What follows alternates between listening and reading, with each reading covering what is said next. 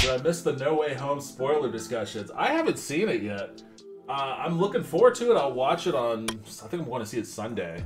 So uh, What is what is the deal with this? I'll tell you this much, man. I love Spider Man. I really like Spider Man. He's one of my favorite characters. I'm looking forward to seeing this movie. I want to watch it. I think it'll be really good.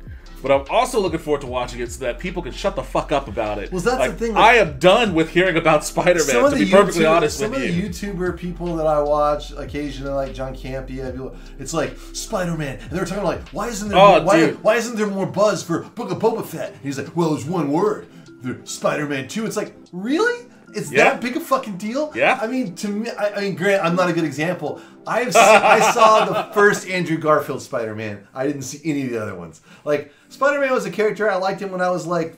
Like three, I had like a Spider-Man plushie, but I never watched the cartoon really. And Yeah. I, I you know, just like, eh, It's not your bag. no, man, it's not, not, your bag. all. But it's like the level. Campea though, just- like he, like that's that's like a big part of like his operation there. Like Uh, he he's in the like, cottage Spider-Man industry, dude. I mean, he's like everyone's writing in. So do you think that blah blah blah blah? I'm like, Jesus Christ! I understand, like you know, being into something, but holy shit, it's not like it's it's not like it's like like. As much as I was detached from Endgame, like I had no interest in it whatsoever, I did get it. I people, Yeah. people have been watching movies for years. This is the culmination. okay, of so I will say this. then. of fucking you know. Okay, so fandom. a part and and, and a part, uh, the big part of why Spider-Man is being treated this way is because it's a lot of the same thing.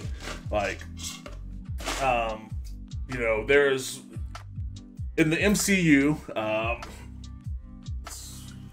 yeah, see, booster this Monday. Stay safe. Oh, we're boosted up and safe. oh yeah, I, I've been boosted for King Tobey on the screen one last time allegedly. Yeah, that's what I was gonna. That's what I was talking. That's what I was talking about. Well, I So- know that. Like, they're Yeah. supposedly going to bring all the Spider-Man back. Well, yeah, because like they're doing a multiverse kind of thing. So like, it's the idea that there's going to be Tobey Maguire there, possibly, and Andrew Garfield there, possibly. We already know that Alfred uh, uh, Moreno, Yeah, who played uh. Doc Ock, we've seen him. Molina, he's there, and then like there's this hints of all these other people there. They got Daredevil from the Netflix show. He's, in there. he's in there? He's in there. They're, they're squeezing him in there. There's all sorts of other. Rey from Star Wars is in there. Rey, Rey from. Star Wars is fucking in Darth there. Vader Sonic the Hedgehog's in there.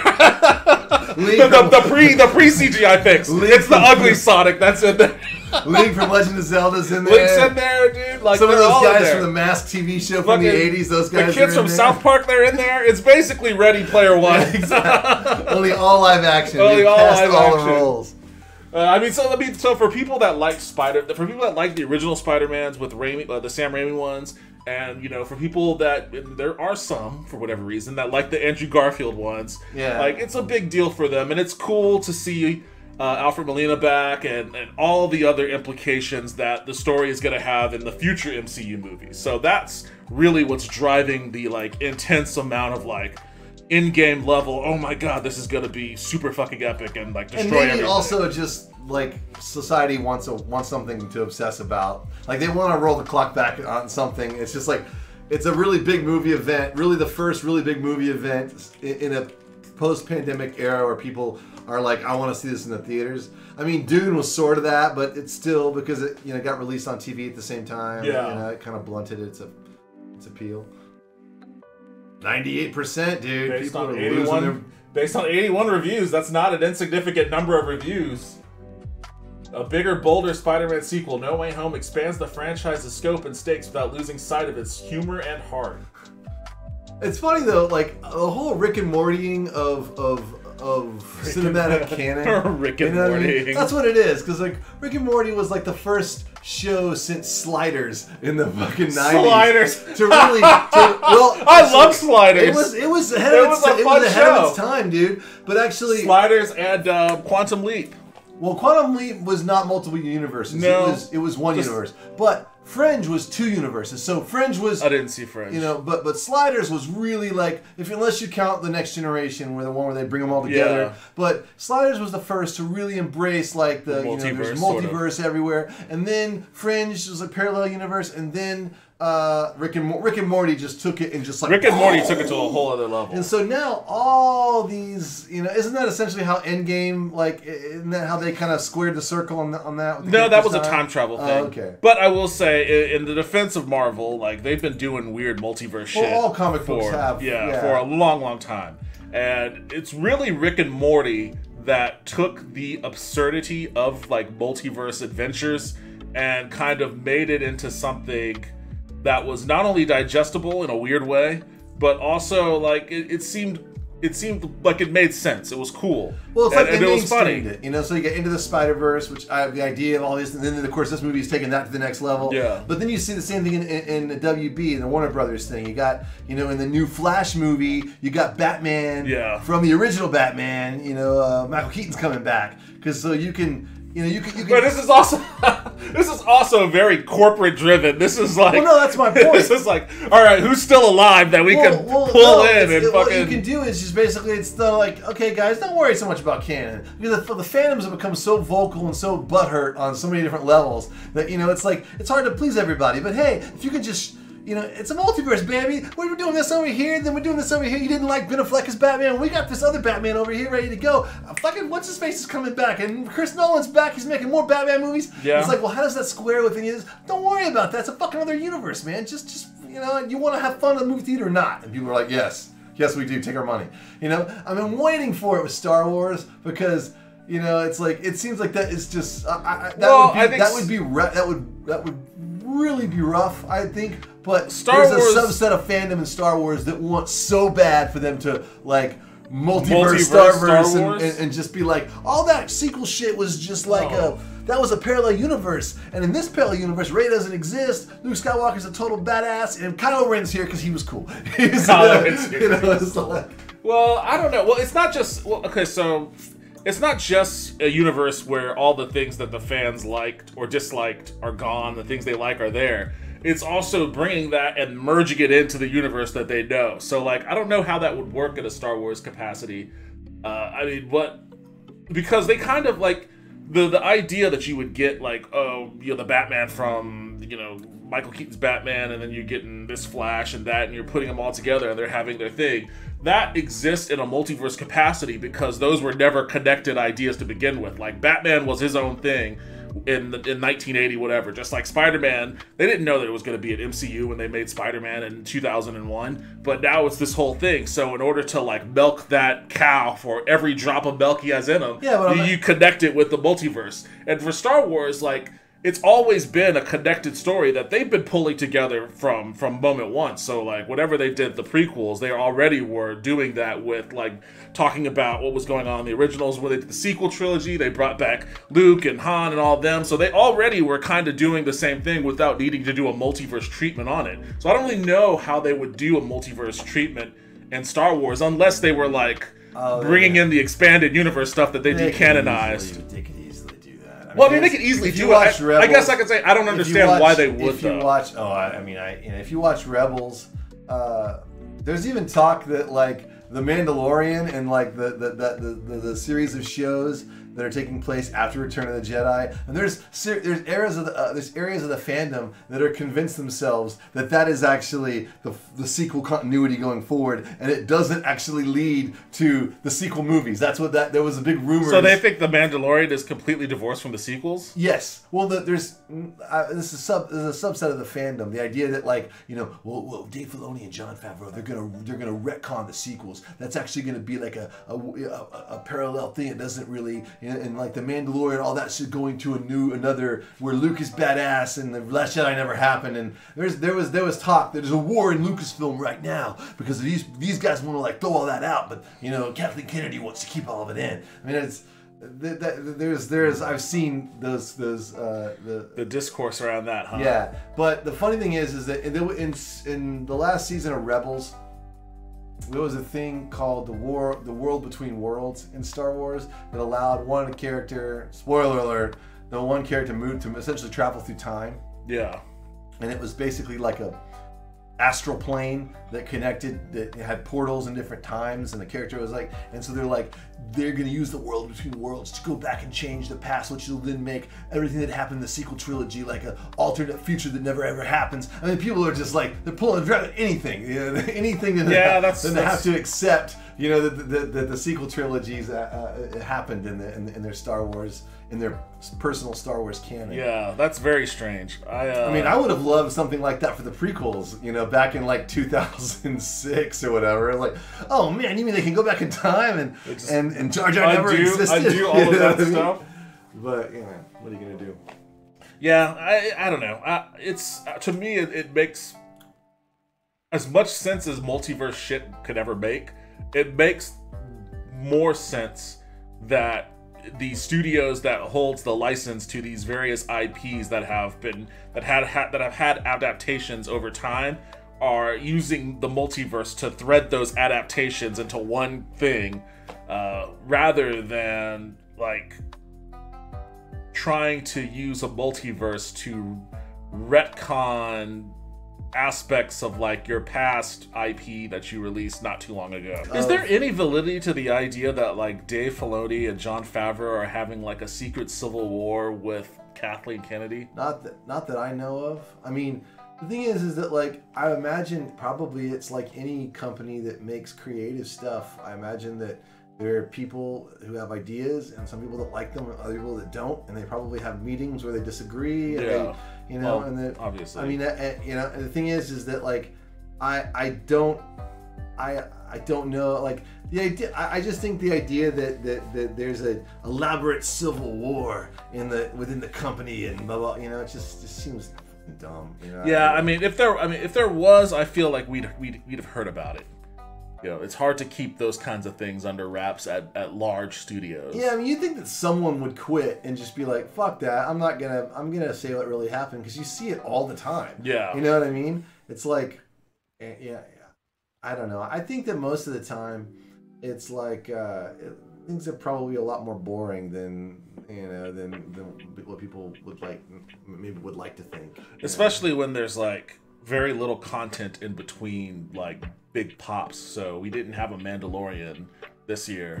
Yeah. And it's been a while since, you know, or it would have been a while uh, between season two and Book of Boba Fett, and there wasn't a Star Wars movie, and, you know, well, what else are you gonna do? You're gonna talk about your theories on what's happening yeah. at Lucas. I mean, there are some people online that just say crazy, crazy shit. Like some Star Wars YouTuber guys like Mike Zeroh is one of them, and he's just like Mike I mean, Zeroh. That, yeah, it's all he does is he, he posts like a video like you know he posts like a video every day, and it's just just a lot of it he, he i mean he, he just has to probably make up you know he just makes the shit up like yeah he got one eight hours ago ten hours ago one day ago he's got two he's like he's posting at least twice a day George, uh, John, George, and Dave, George are resetting Star Wars. There you Wait, go. Okay, this guy. Okay, I got it. I'm gonna mute this real quick. Let's, let's, just let's just let's just take a little sippy sip of this. Guy's, sippy, a little sippy sip of this guy's content here.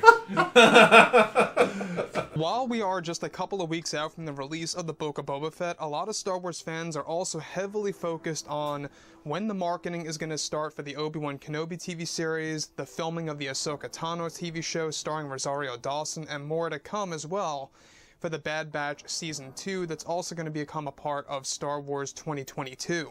So with that being said, one thing that a lot of fans have been very focused on as well is whether or not George, John, and Dave are able to pull things off with, of course, everything. When he says George, is he talking about Lucas? Universe, right? Is the Lucas actually involved in any capacity? It's going to be a combination of movies, TV shows, be it live action or animated, books, novels, comics, and let's not forget about the video games. I mean, I'm sure that you guys saw Star Wars Eclipse. I do suggest that you guys go ahead and check that out because that is one hell of an amazing experience when it comes to cinematics. So, moving forward beyond all of this, we already know that Jon Favreau and Dave Filoni have a very in depth plan of how they're going to be using a lot of elements from the Clone Wars and Star Wars Rebels in live action form. We already know that Ezra, Sabine Wren, and Grand Admiral Thrawn are making their way into the Ahsoka Tano series, and we're going to be learning about more major characters coming our way for that show in the coming weeks, so keep your eyes open. So, what's really exciting, however, is that with both Disney and Lucasfilm now focused on their new Star Wars TV shows and movies that are currently in different phases of development, creators Jon Favreau, George Lucas, and Dave are putting in all of their effort to bring Star Wars on the right path. Now, further, it's described, however, that they are planning something huge for the Ahsoka Tano series that is best described to be astronomical changes to the Star Wars universe. See, It's noted that they go. are planning to use the world between worlds to change many Boom. moments in Star Wars history during the Ahsoka Tano series for Disney Plus. One drastic change that they will be implementing using the world between worlds is brand new meanings to the death of Darth Vader and Anakin Skywalker. It's described that Lucasfilm plans to have Ahsoka Tano enter into the world between worlds, where she is set to interact with one of the portals that will bring her to the very moment that Anakin finds himself in conflict, as he watches his son. So this guy is just basically reading fanfic. Like this is Now, incredibly aside detailed, Filoni- like very is planning to have specific reach out plot points. through the world between worlds in order to help guide him with what, of course, conflict he's going through, and reminding him that he is indeed Anakin Skywalker, and that he needs to save his bloodline by saving Luke to bring real balance to the Force. Ahsoka Tano is described to hold great knowledge about the past and aspects of I the mean, where- future. of where- where world is he getting this I don't know, dude. He's reading a script. He's reading the. He has the script. He has the Yeah. actual He's like- fucking. Like, I'm really great friends with Jon Favreau, and I get a daily rundown of their discussions. Seriously, like that's. If you go to his video up the very top, like uh, like the This one? Jon Favreau in trouble with Kathleen Kennedy, the truth. Bum bum bum. This is Mike Zeroh. Make sure to subscribe if you're into TV shows that are currently being worked on by Jon Favreau, Dave Filoni, George Lucas, Bob Chapek, and others out there. Bob such Chapek? He's not working on Is Bob. Chapek- doing a lot of work. Is Bob with Chen? He's doing a punch up on it on the I myself cannot believe that we have a lot of great new creators coming on board over at Lucasfilm that are really going to bring everything together. However, when it all dwindles Really? Down to everything related to Jon Favreau himself, I mean, this is the man that's really pouring his life and soul into really making Star Wars possible and to really kind of turning things around for the better. Making it possible? So when we go ahead and examine everything related to what's been going on with The Mandalorian Season 3, to the Ahsoka Tano series, to the marketing of the Book of Boba Fett, everything seems to be working in order right now, very smoothly. The process is going very How do you know, dude? well. Is he watching the dailies? There have been a couple I think he is. bumps in the road. I think he's with the Star Wars producer on the show. with He one might be. particular Star Wars TV series. That, of course, involves Kathleen Kennedy and Leslie Headland of Star Wars The Acolyte, and how it actually involves Jon Favreau. Now, this is a big deal because this has been going on for a number of weeks now, and recently, finally, it has come to a close. So, let's get right into it. Now, this, of course, involves Favreau mixing in with Kathleen Kennedy and Leslie Headland and what's been going on for the Acolyte TV series. So now that both Disney and see if this Lucasfilm guy are has, like, focused some on their sources new Star Wars projects like. Star Wars Ahsoka and even the Kenobi series, He doesn't have it's described that creator John Okay, just wanted to Favreau make has been sure. making big adjustments behind. Further, it's described that Kathleen Kennedy has recently been having some problems with Favreau being a part of the Acolyte TV show in different ways ever since he got his. I'm sorry. Could you uh, refresh my memory on what the acolyte is? It's a show that about I think it's it, it takes place I think in the latter part of the High Republic or the early part of the prequels, like the earliest, like right before the prequels happen. And it's about like a Sith, like Siths in training or something. Siths in training. Yeah. Okay. I, I guess I must have missed when this was announced or, or, or whatever. Yeah. So then, like, did did fucking? I mean, did did did Jon Favreau have any like? It seems like Jon Favreau is just the producer, yeah. like for this show, I, I mean, who knows, dude? Who and that it may have always been that way. I mean, it probably. The thing was, is it's weird. He he, he constantly he, he posts all this stuff, but he I, I don't know where he's reading it or if he's just making it up. I mean, he posts twice a day, you know, or someone's telling him this stuff. But I can't imagine that he could be in, in, in enough contact with these guys to get To, get this granular level this many details. videos. Yeah, and it's like he also, if you notice, he does a lot of recapping. You know what I mean? The the, the, text from one video to another is, is actually pretty similar. You know, he's Yeah. like, so it's uh, he he has a really like circular way of talking. You know what I mean? Where it's yeah, like it's, it's, just pretty like it's pretty weird. Well, it's it's kind of like if you front loaded with enough jargon, Yeah, that totally. it makes it seem like what little snippet of very suspicious information that Yeah. you seed after it has more weight and legitimacy. It's like a it's, it's a it's a common con artist trick. Yeah, he could be worse though. I mean, he could be that guy from Geeks and Gamers. So, you Uh. I don't even I don't know anything about. I went to Geeks. And, somebody was saying something. I think it may have been on the Movie Madness channel. They were saying something about Geeks and Gamers. yeah, you don't. That And guy is. I clicked on their channel and like the very first video, the very first video I saw was like, oh, what was it? It was like Republicans can play video games too or something like that. yeah, no, it's yeah, totally. And as soon as I saw that, I was like, that that's his jam. fuck these guys. These guys, geeks and gamers. Spielberg's West Side Story bombs. just because queers were in it. Disney facing cancellations after what? Probably something they did that was pro women. Yeah, probably. After marketing disaster, huh? Star Wars got a Galactic Star Cruise fail. What is Galactic Star? Oh, there we go. Cowboy Bebop canceled after one woke, Woke season. After one woke season. That's funny. They're like, should we do a regular season of show? No, no, no. Let's do a woke season and see how it goes. No, let's just let's just try. Let's add a little. Let's turn the woke up Yeah, to exactly. about eight. the woke is Oh, on. that's too much woke. yeah, the woke that's is too on- much woke. It's on four and a half right now. We're gonna need it at like an eight or a nine. She can't handle that kind of woke. exactly. I warned him. I warned him. she can't take much more, Captain. It's too much woke. It's too much woke, Captain. EA bans Kyle Rittenhouse from positive play. Okay, well, whatever. So there, there you go. That's that's These, that's, these are, that's these guys. yeah, that's where this guy's coming from. So you know, my, my Encanto is another. Disney flop. Okay. So these guys are just like anything woke flops. Is that Adam Carolla? There you Yeah, go. Adam Carolla. That's all I really need to read. Discusses woke Hollywood Woke. in a new segment from PragerU. Prager you. Did you know PragerU? Did you, you ever see Oh. those commercials? Unfortunately. Yeah. If by very very some rare chance he does watch he does watch this video, we're not really lying about you because we don't really know anything about you. We're just reading your. We're just, uh, yeah, we're just, we're just, we're just. I, I will, I will admit that this is a very shallow, exactly. a very shallow. We're not we're not all that concerned with looking deeper. No, no, I, I see what's going on here, and uh, I've decided that I want none Ex- of exactly. I want none of your gazpacho, fine sir. yeah.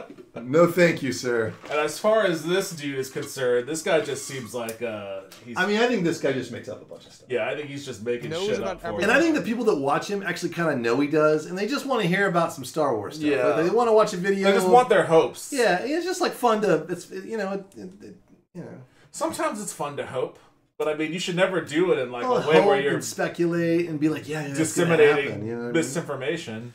It's like when a bunch of kids kind of like pretend that there's like you know a monster in the creek. You know what I'm saying? It's like kind of a mutual.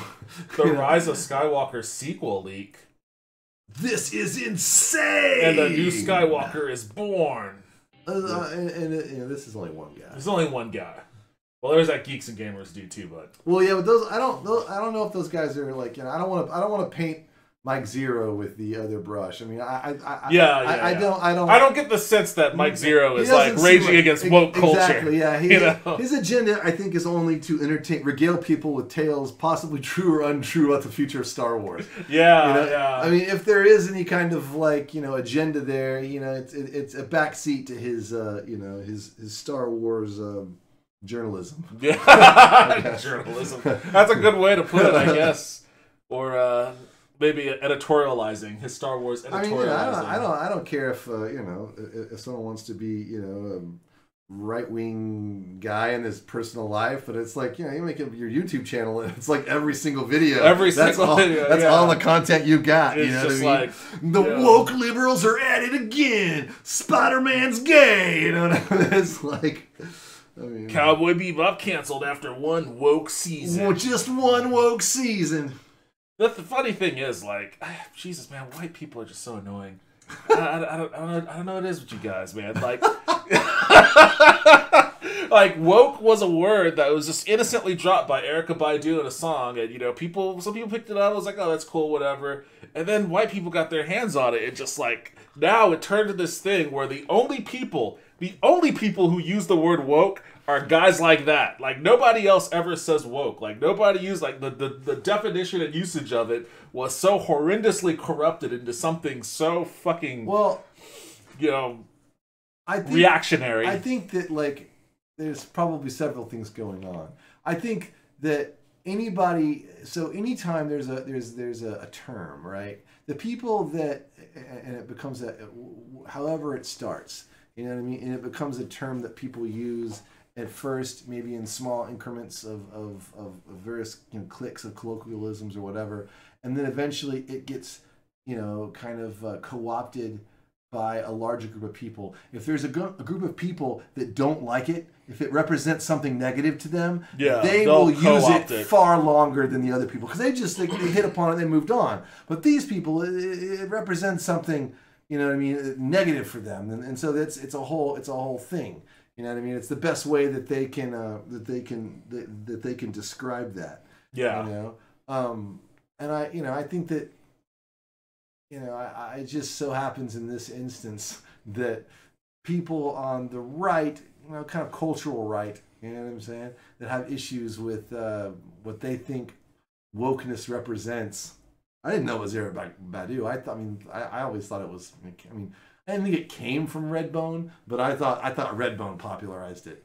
Hey guys, thanks for watching this video. If you liked what I said, what Justin said, if you like the content we're providing, if you had any kind of laughs at all, even if you hate us, if you hate my guts, if you want to stab me, if you want to say all sorts of horrible things to me, cool. Like, like the video, subscribe, you'll get fed all sorts of shit you'll probably hate, and if you like us, you'll get fed all sorts of shit you probably like. So, please and thank you.